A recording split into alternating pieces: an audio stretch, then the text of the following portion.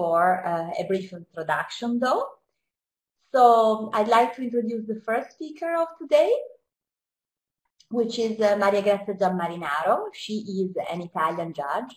We have been working together uh, for the last 15 years, Maria Grazia, uh, where you actually back then you were you were one of the key experts that were involved in uh, in drafting the Council of Europe Convention um, against trafficking human beings.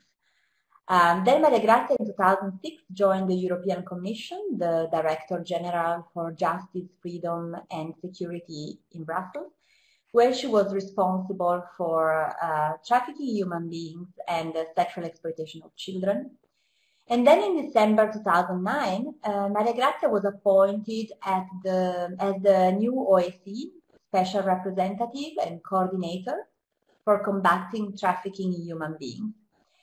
And uh, Maria Grazia, during your, your mandate, you have been very outspoken um, about the, the, need for unconditional support uh, for trafficked persons in order to really have a truly um, human rights-based approach. And in your work, you also broaden the scope of the fight against uh, trafficking uh, on towards like more preventive work, focusing, for instance, on, on decent working conditions and also social inclusion. And uh, Maria Grazia, in her past, but also current position, has been able to raise a relevant issue at a very, very high political level, including uh, the need for access to justice and effective remedies, including payment for compensation for trafficked persons, and now focusing specifically uh, with the issue of traffic in, in conflict situations. Um, Maria Grazia, I am delighted to give the floor to you. Thank you.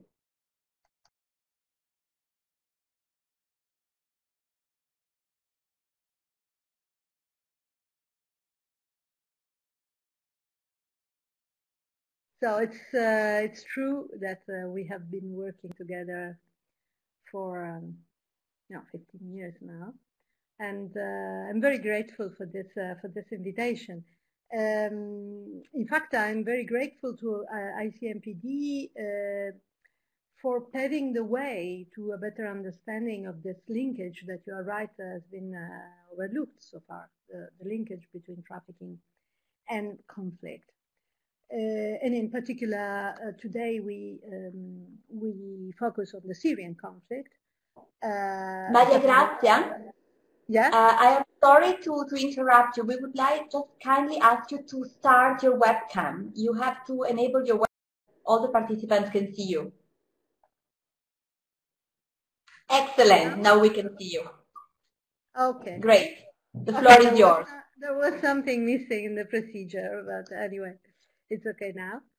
So um, I, I, was saying that actually uh, it, it is a linkage uh, that is there, uh, unfortunately, not only uh, concerning the Syrian conflict, but um, recent uh, recent studies, including the ICMPD study, uh, but also the IOM recent report on trafficking and conflict and disasters, the report of Caritas Internationalis, all these pieces of work show that trafficking is not something that, you know, can happen. It is, a, it is not a mere possibility in uh, conflict situations and in post-conflict situations, but it is a direct consequence, something, something that happens on a regular basis.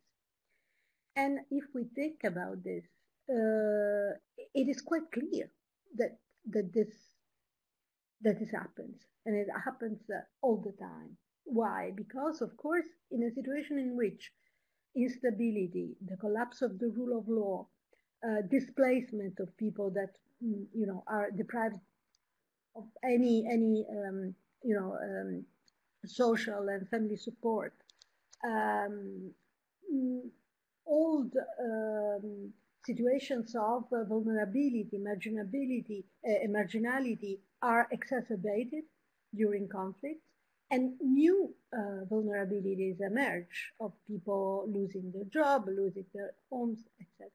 So all this situation is a situation with, I would say it is the perfect situation to be exploited by traffickers. And this, in fact, happens. Um, when we think about the, the Syrian war, we, say, we, we see that uh, trafficking flourishes in a way, um, in a way which is uh, visible. Uh, visible uh, and uh, uh, causes um, enormous suffering. Um, first of all, I would like to to um, to focus only on four aspects, but I would like to say that these are not the only ones.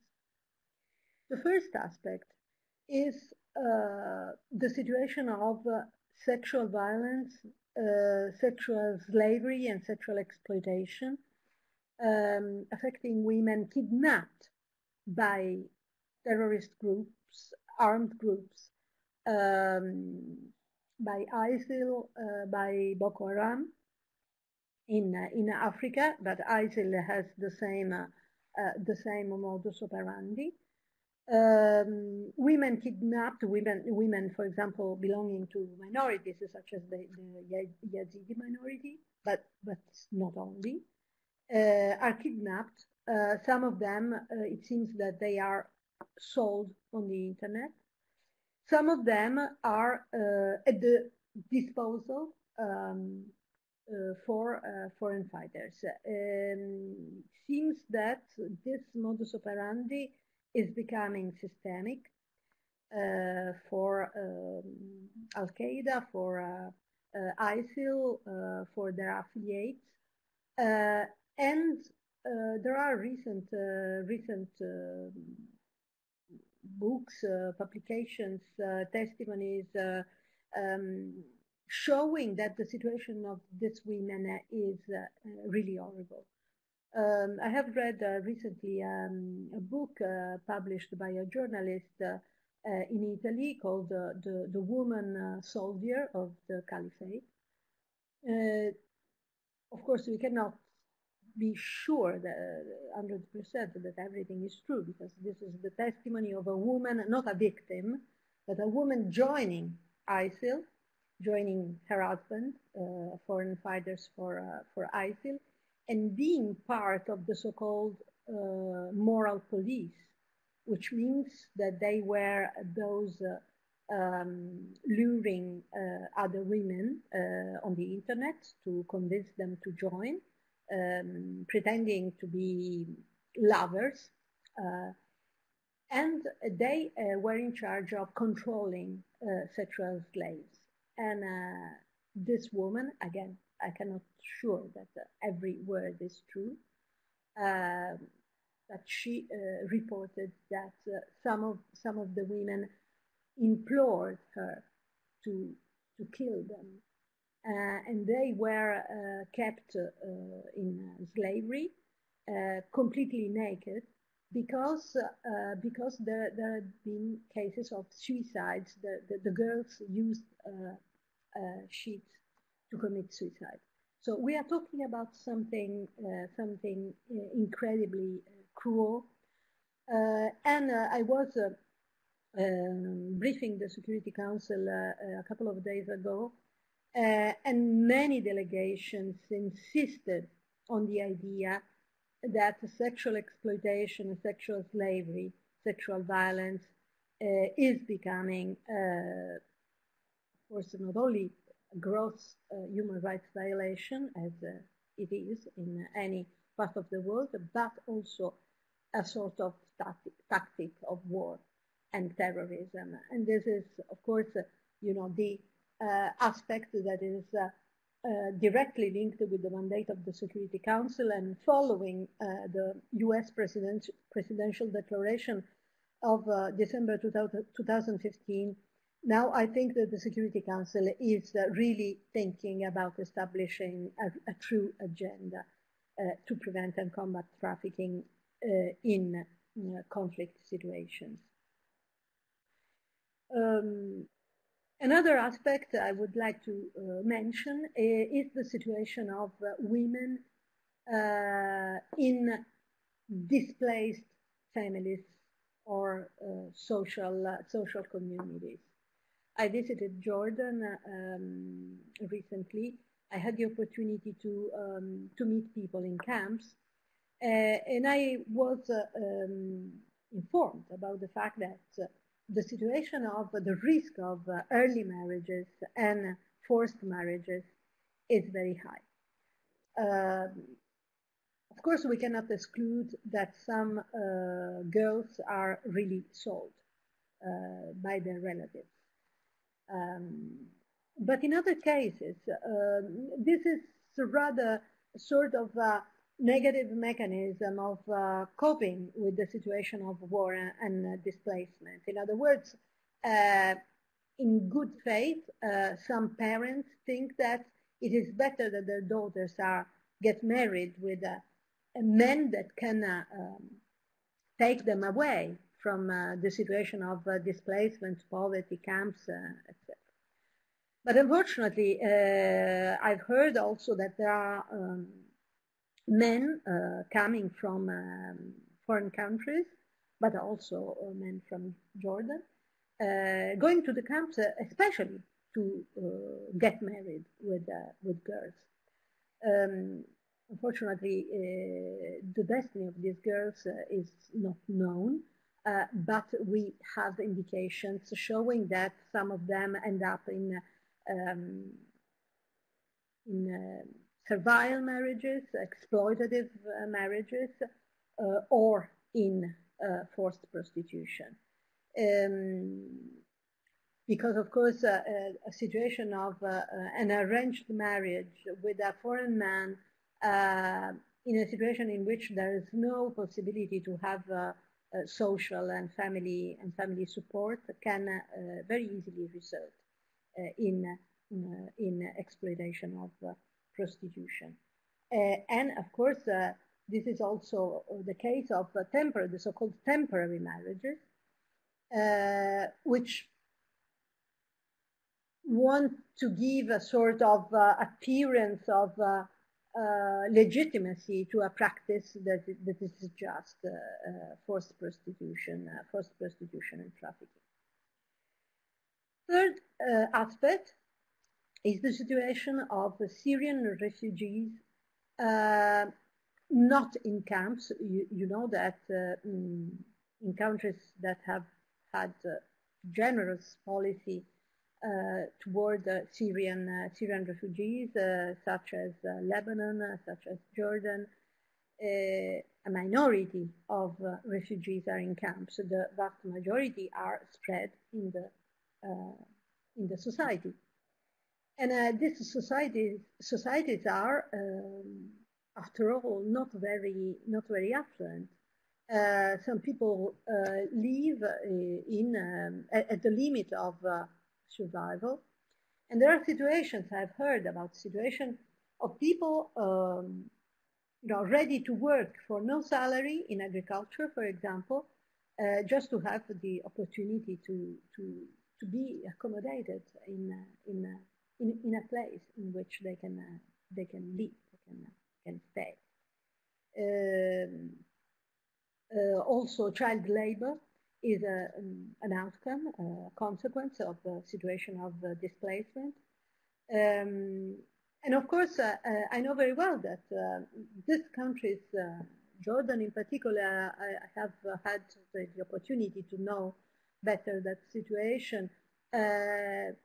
Jordan uh, is uh, actually uh, welcoming so many people, thousands of people, and it is a country, it is not a rich country, um, and of course this situation should be dealt with with an approach of um, shared responsibility at the international level. Uh, so I don't want to under, underestimate the difficulties, but I want also to say that sexual exploitation is there.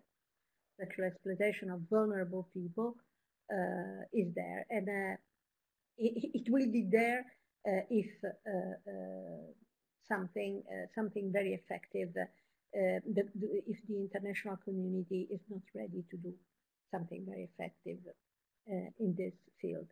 And I go to the last point, last but absolutely not least, which is the situation, the vulnerability to trafficking of people fleeing a conflict, a conflict zone, a conflict situation. And of course, we see that there are so many people dying in the Mediterranean Sea. So many children have lost their families. Um, the Italian public opinion has been um, has been um, you know struck by the situation of these children uh, losing everything, losing their mothers, the, the, the, the, entire family uh, at sea. Some of them will be adopted uh, in Italy, but these are only a few cases of a situation that uh, is there uh, since uh, since a long time, and unfortunately, we cannot expect that this that this will diminish. this is this should be seen as a global humanitarian crisis, which means that every country should do their uh, role, should play their role, should play, should, should uh, take their part of responsibility. Uh, and this, uh, this uh, approach is not there, unfortunately. International cooperation failed, mostly failed, at the European level and at the global level. Uh, but the destiny of uh, those surviving their perilous journey. And we have to think that this journey has become more and more uh, expensive and hazardous.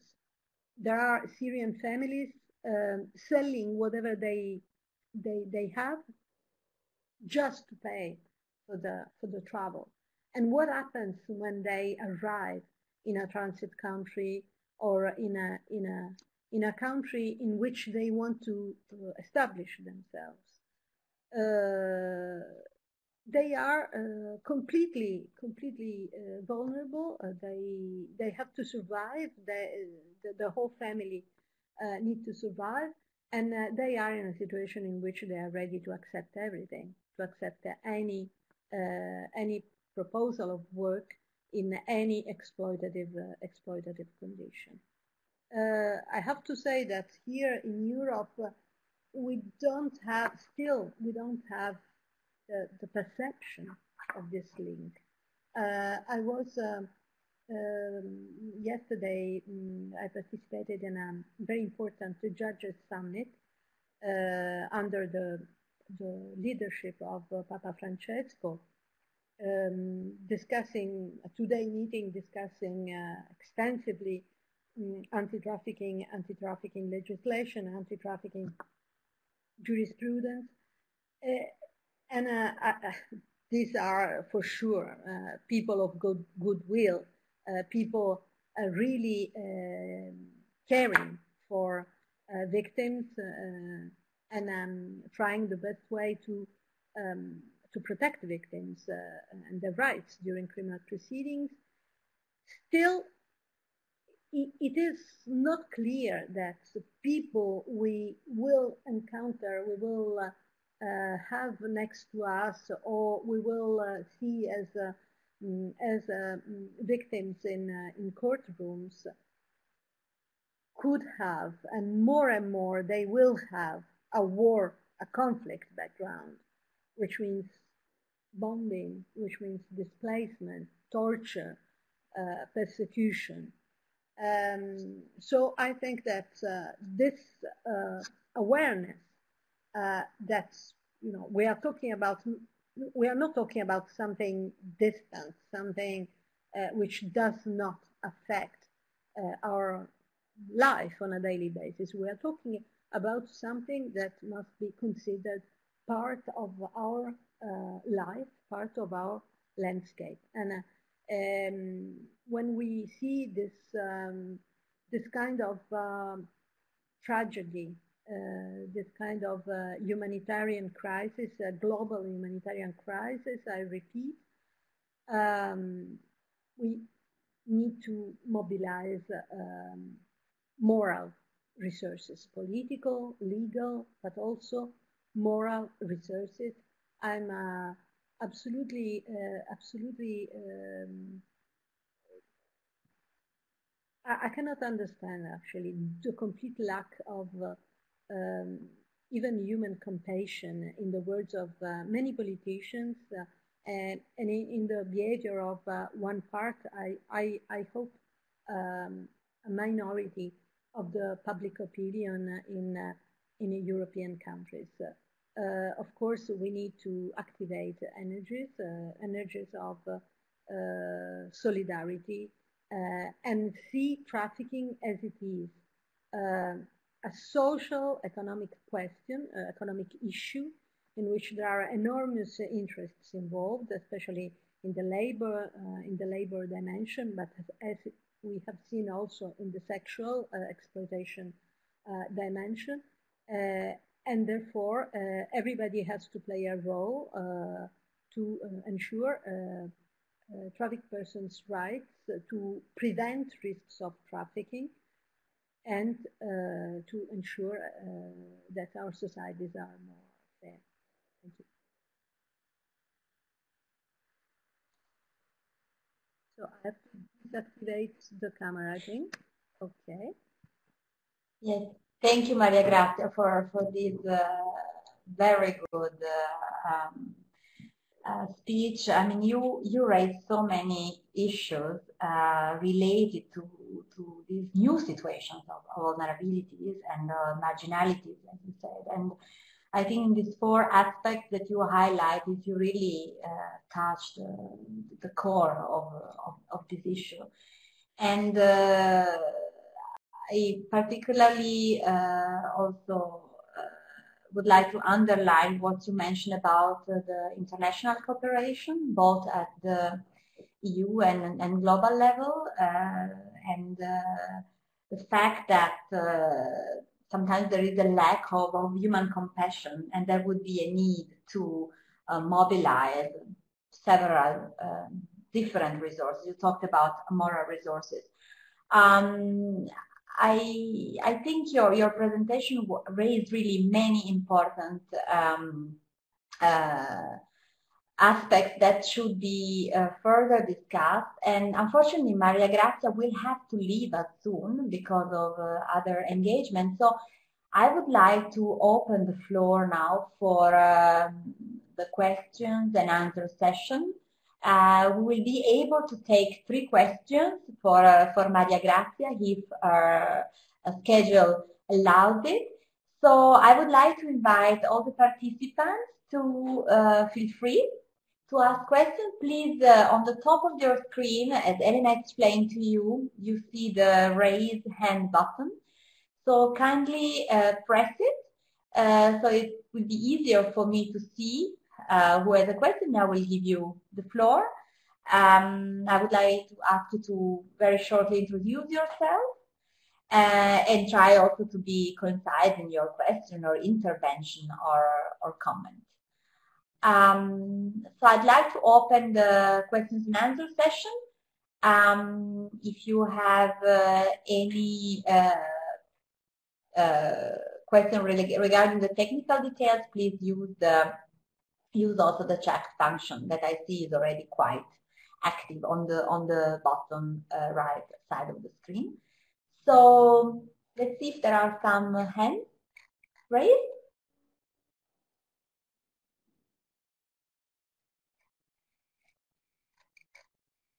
it looks either that the connection is very slow or uh, we have uh, many shy participants.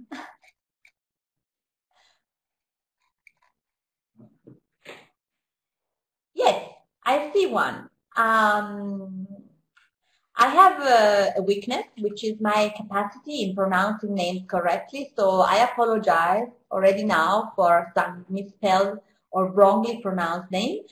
I see uh, Cleo uh, Mainike raised the hand, so please um, introduce yourself and uh, I will collect three questions and then give the floor to Maria Grazia.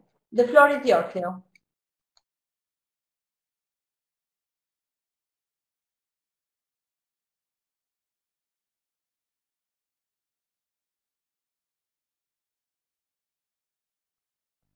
Hello? Can yes, you hear me? I Hear you very well. Very okay, well. awesome. Okay, awesome. Um, my name is Cleo. You pronounced it correctly. Um, I'm still a student. I'm doing a bachelor at the moment, and I'm writing my thesis on the connection between forced marriages and temporary marriages and human trafficking.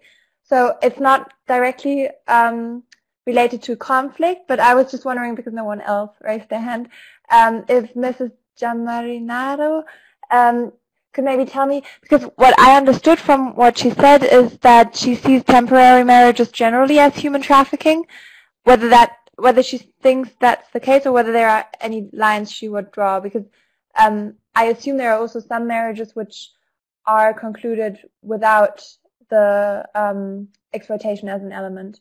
Yeah, that's my question. Thank you. Thank you, Cleo. Let's see if there is uh, another courageous participant uh, that would like to ask one more question to the UN Special Rapporteur on Trafficking.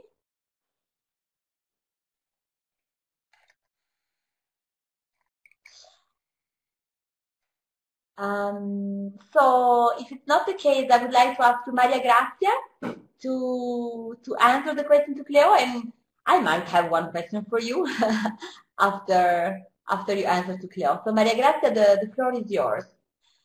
Please activate your camera as well.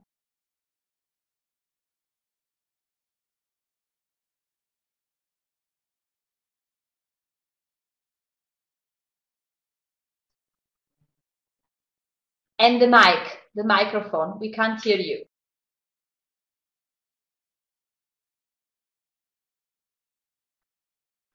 Does it work now? Can you hear me? Yes, we hear you and see okay. you very well. Okay. Um, I was saying that we talk about trafficking when there is uh, an, an, exploitation component uh, and at least abuse or violence or fraud. Uh, these are the, the, the, the, combination of elements that, uh, you know, uh, uh, um, make, make it possible to consider a case as a trafficking case from a legal point of view. In the case of temporary marriages, I would say that for what I have uh, I have known uh, for, concerning what I am aware of, there is always an exploitation and abuse component uh, because the girl is married with with a man uh, just for the time uh, the man decides to make use of the girl uh, for um, you know commercial sexual exploitation uh, or uh, to give others access to the body of the girl for different reasons. For example, uh, in the case of foreign fighters, uh, it is uh, just a way to it is a way to reward and at the same time to entice other young men, other people to join a terrorist group. So in this case of temporary marriages, I would say that an abusive and an exploitative component is always there. It is different for um, arranged marriages uh, that can result uh, in uh, an exploitative situation or not. it depends on, on the situation and the intention of, the, of the man asking in, a girl in marriage. Uh, but the problem is that this girl has no possibility of uh, protecting herself if something goes wrong. Uh, and this is the reason why uh, I've heard about uh, a good practice in Jordanian camps, which is, mm, you know, which involves UNHCR, um, the civil registration um, government department, and the religious court. And uh, together they are, they are, informing the families uh, about the risks so they basically try to discourage the practice of, uh, especially of early marriages. Um, and of course also uh, forced marriages uh, for sure, um, to make aware people that also arranged marriages in a situation which is uh, which is a, a, situation of social uh, isolation can be particularly dangerous. And in any case, they um, register the marriage so that you know the, the situation of, of the of the person of the young woman can be uh, can be tracked, can be uh, ident identified um, in the uh, in the coming months. Uh, uh, otherwise, the destiny would be completely of the girl would be completely unknown. So I would say that even though not all these situa situations amount to trafficking, there is a high, high risk that they uh, end up in a situation, uh, result in a situation of exploitation. Elisa. Um, ask a question? Thank you, Maria Grazia. Um, hope you can see and hear me. Uh, yes, I actually have two questions since I see that our participants are listening, but they are uh, shy in asking questions. Um, and you mentioned four main aspects of vulnerabilities and um, three mainly are particularly relevant for, for women. Um, I wanted to ask you if you could maybe mention also based on your recent visits to Jordan and other uh, countries in conflict, um, specific uh, uh, different factors that are specific, specifically contributing to vulnerabilities um, of children. So which kind of forms of child trafficking are uh, taking place in countries in conflict? Thank you.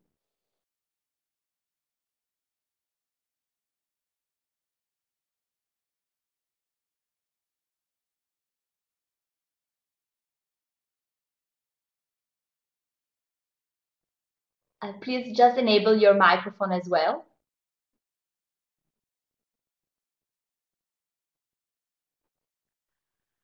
Okay.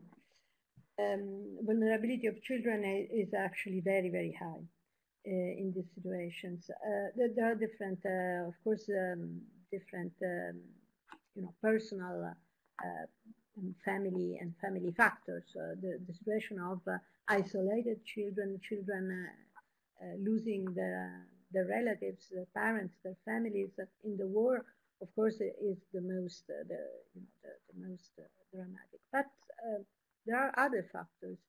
Um, for example, in situations of displacement, um, it is very easy that children become the primary breadwinners for the whole family. Because for, for children, it is easier to, to work in the informal uh, in the informal economy. Uh, and they are preferred, uh, of course, for, for, for many reasons, uh, but not, not, Uh, not surprisingly because they can be paid much less than adults. Uh, in these situations, the risk of uh, child labor and even the worst forms of child labor is very is very present, is very very significant. And this is concerns not only um, neighboring countries uh, where Syrian children are displaced with the, with the whole family, but very often children uh, on the move, traveling alone, and trying to reach uh, European countries through very, very uh, dangerous, dangerous, dangerous routes and they find themselves uh, in situations in which they can they, are exposed to any kind of exploitation, be sexual exploitation, labor exploitation, exploitation in forced and organized begging, mm, etc. Um, this is not uh, a, situation only of children coming from conflict zones, because we we know that, for example, there are uh, Egypt, many, many Egyptian children uh, traveling alone uh, toward the EU countries. but it is also true that this can last, this situation of vulnerability can last after a conflict uh, very, very, long, for a very long time. We see, uh, we still see uh, children traveling alone, coming from uh, Afghanistan, Iraq, or, uh, you know, camps in neighboring countries, traveling alone, trying to in time. The, the, hope is to resettle in time the whole family in in our in our host country, preferably in in in a country of the of the European Union. and of course, the challenge the challenge is is very high because uh, this uh, particular vulnerability is actually exploited by uh, by traf traffickers very often. I mm, take this opportunity to say that in Europe, and I saw that there are many mm, participants from European countries, in Europe we have um, we have a duty, we have a task, important duty, to um, promote, uh, of course, to promote, if possible, uh, more, um, uh, more, um, at least less restrictive migration policies, because the migration policies of the of the uh, European countries are part of the problem, are not part of the solution, because they increase vulnerability to trafficking of uh, so many people. Uh, but more particularly, uh, we should uh, we should ask that in every reception center, in every hotspot, in every point in which um, refugees, people fleeing conflict arrive, they spe specific procedure are established to assess international protection needs, child protection uh, opportunities, um, trafficking protection, protection on the basis of the legislation on trafficking, because uh, so, so many people, when they arrive, have been already trafficked.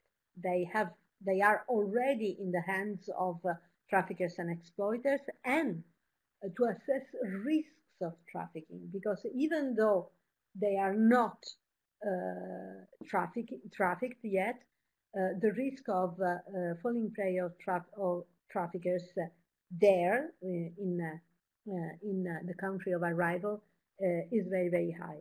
So in, we should shift, I think, the attention concerning the linkage between trafficking and conflict, should shift the attention on prevention, and uh, we should find, in cooperation with civil society organizations, and unfortunately not all uh, the hotspot uh, reception centers, administrative detention centers for migrants uh, allow civil society organizations to enter and to to talk with uh, uh, with migrants and refugees. We should fight.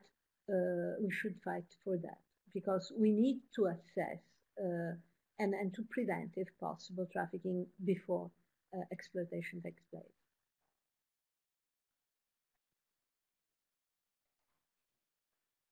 Thank you, thank you, Maria Grazia, for uh, for this uh, this observation. Uh, I fully agree with you.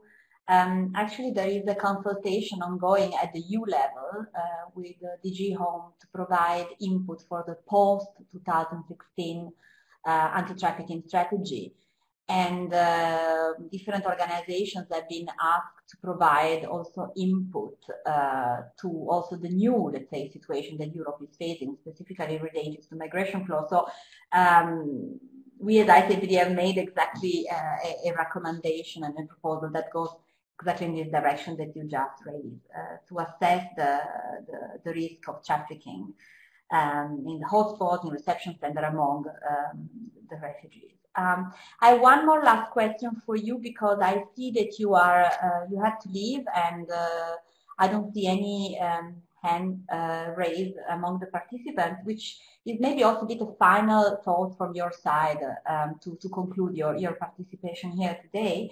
Um, you talk about the need uh, to mobilize uh, moral resources. Uh, and I would like to ask you, in your capacity as a UN Special Rapporteur, what would be your advice for uh, policymakers, for instance, um, to um, to do more in this aspect? How they could mobilize more, also, for instance, the public opinion to have a different and, and a more um, a, better understanding of, of, of, human trafficking specifically linked to, to conflicts and, and, and crisis situations.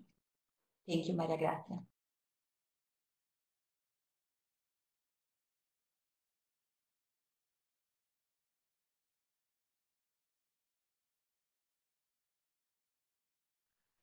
Does it work? Yes. Can you hear me? We see you and hear you well. Okay. Um, uh, you are touching upon a very, very sensitive, uh, sensitive issue.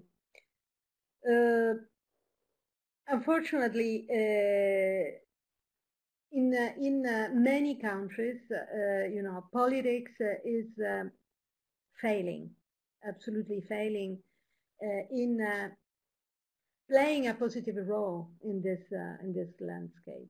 Um, of course, uh, we know that uh, one part of the public opinion is uh, is concerned, is is worried. Um, what politics, the the what, what we can call the high level politics should play um, a positive role in the sense of showing that these people are not uh, are not dangerous for uh, European uh, European societies. On the contrary, if we focus on trafficking risks, we show, and you know, politics should show uh, that these people are at risk. They are at risk. So instead of uh, uh, fostering sort of obsession about what we can lose uh, in uh, accepting, in uh, welcoming um, people fleeing conflict. Uh, of course, uh, you know, we should uh, understand that we should help.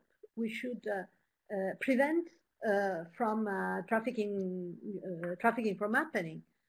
we should ensure that fair uh, living and, um, and working conditions are, are, are in place for these people. So in other words,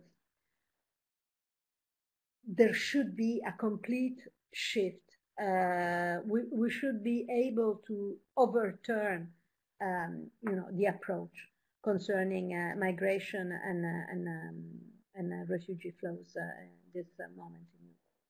unfortunately, this has been um, has become very very politicized.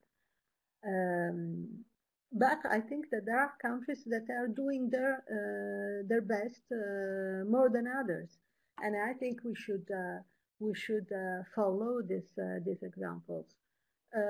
I have to say, for example, that you know the, the Italian um, the, the, the role of the Italian um, navy is still very significant in saving lives. Uh, again, uh, an international, uh, an international shared responsibility approach should be stronger in this field, and it should be stronger also in the field of relocating um, people fleeing conflict. It is incredible that uh, an option, which is the option of, uh, of hope, uh, uh, is uh, completely disregarded when uh, everybody could see can see that this option would be the, the only the only way out if we ourselves were in a situation in which we can um, become victim of a bombing anytime. Uh, so I think that uh, this uh, kind of um, idea is what I um, evoked when I talked about moral resources.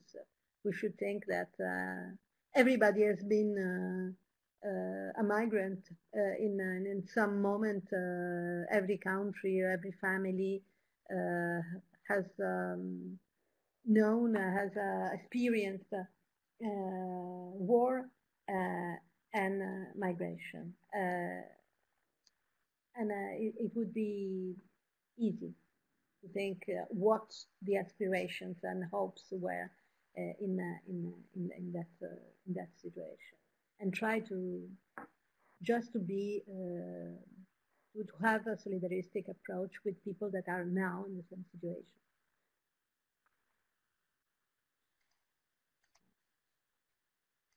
I'm so sorry that I have to leave, and I wish you a fruitful uh, and a successful continuation. Thank you. Maria Grazia, thank you very much. We really appreciate that you uh, took part in this webinar. Um, your contribution, as usual, has been extremely valuable. And um, I hope there will be the possibilities to, to get in touch soon and also try to um, coordinate our work with your office in the future. Um, thank you very much and uh, hope to, to, to see you soon again, either via webinar or in a conference around the world. Thank okay. you, Maria Grazia. Thanks a lot, and I'm sure that uh, we will have further opportunities to to work together also with uh, the participants. Yes. Bye-bye. Bye. Thank you. Bye.